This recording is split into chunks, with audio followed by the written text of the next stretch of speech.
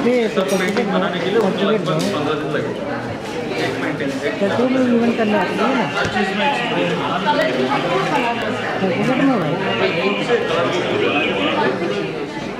ओ क्या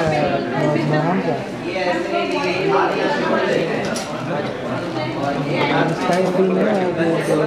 है ना क्या बोलते हैं वो वन ले आना सात बजे नहीं होगा साढ़े आठ बजे उधर जाना है कितने तो ना आप साढ़े आठ बजे साढ़े आठ बजे कितने क्योंकि